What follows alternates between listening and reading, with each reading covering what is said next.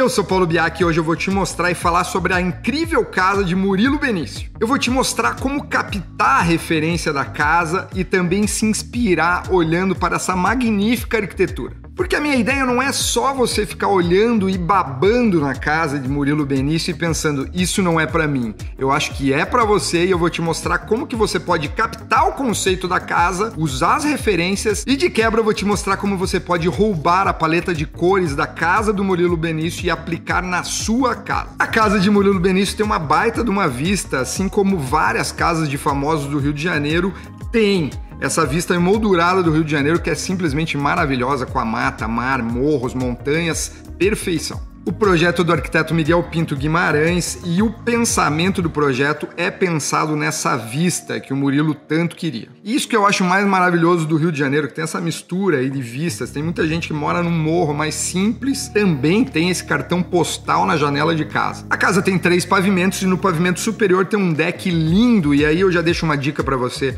Olha que coisa simples essas luminárias que se chamam luminárias festão. Então você pode aplicar na sua varandinha da sua casa que também vai ficar bonito. Funciona para de dia e funciona para noite, para dar aquele climinha gostoso na varanda. A casa de Murilo Benício tem uma piscina não muito convencional, uma piscina bem longa e que acaba meio que no horizonte, dando aquela profundidade e aquela sensação de piscina infinita. E também tem uma escotilha, várias escotilhas na verdade, que vão vazando ali para o interior da casa. Você mergulha, dá uma olhada naquela escotilha. Isso é uma arquitetura super legal. E tem um lance meio extravaganza, extravagante, mas é descolado. Tem um pavimento inferior ali que é o subsolo, que é um show à parte. Tem pista de skate, tem container, que é uma coisa que vocês sabem que eu gosto. Funciona tudo ali para uma área de lazer, mesa de ping-pong, escritório. É super mega descolado. Extravagança, tem grana envolvida aí? Tem. Mas é bem pensado, bem aplicado, não é aquela coisa louca de dinheiro para cima. Sabe por quê? Porque eu acho que ele usa muito esse lugar, então por isso que eu acho que é uma extravaganza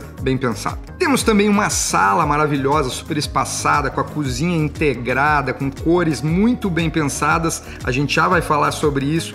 Piscina passando, paredão, planta, escada, tudo colocadinho, muito bem pensado, que dão esse resultado muito impressionante e gostoso de se ver. Mas Paulo Biak, o que nós meros mortais conseguimos tirar para a nossa realidade e aplicarmos nas nossas humildes casas, o que será que dá para fazer? Vamos lá, vamos olhar para o conceito dessa casa. E eu acho que você pode aplicar um conceito quando você pensar na decoração da sua casa. Isso é muito importante. Mas o que é conceito, Paulo Biak? Conceito é história. É a história que você vai montar para a sua casa para você conseguir fazer as escolhas corretas de decoração e não fazer uma grande lambança. É quase que um guia para você seguir e não errar. Nessa casa de Murilo Benício eu vejo um conceito muito claro, que é um conceito do natural e do aparente. É assim que eu tô chamando. O natural a gente percebe muito pelas entradas de luz na casa. E aí já fica uma pequena dica para você. Quando você estiver construindo, seja a casa mais humilde que você vá construir, pense nas entradas de luz. Aumente sempre o tamanho das janelas. Crie clarabóias, que são essas aberturas de teto, se possível, claro. Troque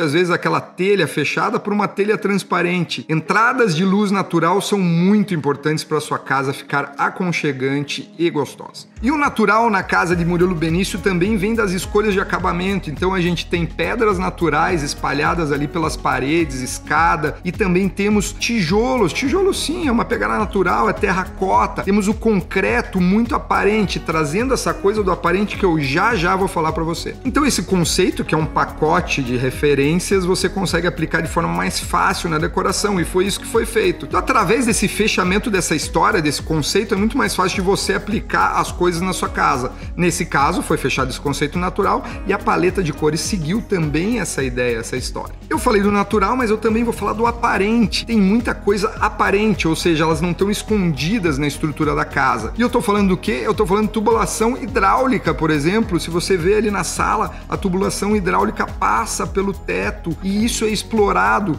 deixando super aparente, assim como todas as instalações elétricas também, que estão usando conduítes e fazendo um show ali no teto, que também é aparente, não tem acabamento, é um teto de concreto. Então esse aparente fica muito evidente e explorado dentro do conceito de casa de Murilo Benício. Então, meus amigos, vocês podem fazer isso também. Vocês podem explorar isso tudo aparente. Às vezes a gente não precisa esconder toda a elétrica, toda a hidráulica. Nesse caso aqui, inclusive, a hidráulica foi pintada numa cor laranja, deixando isso muito mais à mostra com essa cara de loft. Uma pegadinha industrial, mas não é tão forte como a gente está acostumado a ver. Então você que está construindo sua pequena casa ou sua grande casa, pense às vezes se precisa passar tudo por dentro das paredes. Será que não é um item legal para você explorar no conceito da sua casa? Deixar tudo aparente pode ser uma boa ideia. E agora vamos para uma parte que você pode treinar quando você estiver olhando uma coisa que você gosta muito, como a casa de Murilo Benício, que eu achei linda. Apenas olhar uma coisa é interessante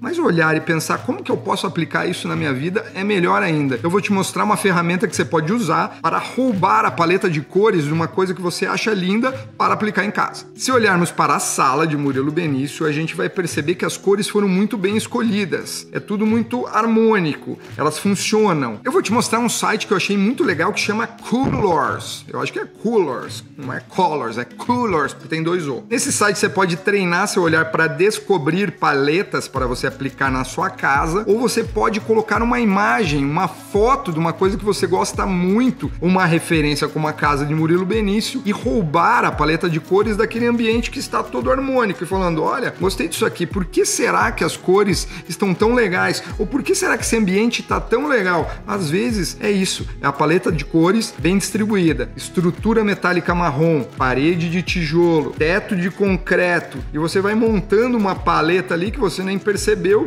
mas na verdade você está fechando uma cartela de cores de aplicação desse conceito que você gostou tanto e você pode colocar na sua casa. Então olha que legal, eu separei essa foto aqui que é a foto da sala do Murilo Benício para a gente sentir as cores. O resultado foi essa paleta aqui. Eu fui pensando as principais cores dessa sala e montei a paleta. Ela não monta automático. Tem outros sites que montam paletas automáticas, mas eu acho tudo meio robótico. Acho legal a gente treinar o olhar para pensar as melhores cores e entender essa paleta de cores para que consigamos aplicar em nossa casa. Então perceba que temos uma paleta de cores muito baseada no marrom, naquele marrom clássico que deriva para um terracota e funciona super bem com um verde, que é o verde das plantas, das almofadas, que bate muito bem com um cinza, que é o cinza do teto, o branco do sofá, são tons mais claros e dão esse contraste. Se você perceber, a paleta é muito sóbria, mas é uma paleta muito legal, não é tão viva. Essa é uma paleta de cores para quem gosta de sobriedade, ou seja, é uma paleta mais sóbria, assim, mais austera, ela não é aquela alegria, aquela explosão de cores. Então a gente tem marrom, terracota, cinza, um verde mais fechado.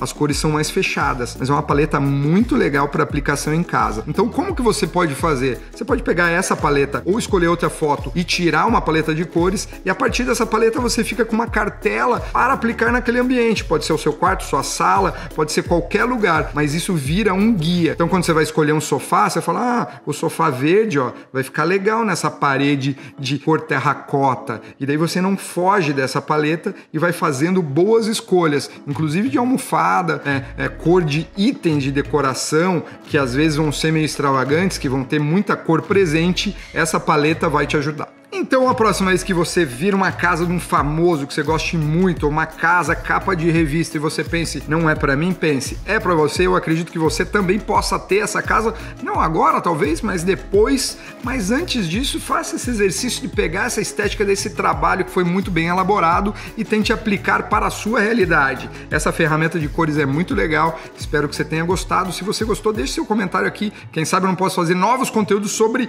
paleta de cores. Beleza? Curta o vídeo, se inscreva no canal. Uma boa semana. Beijo, fui.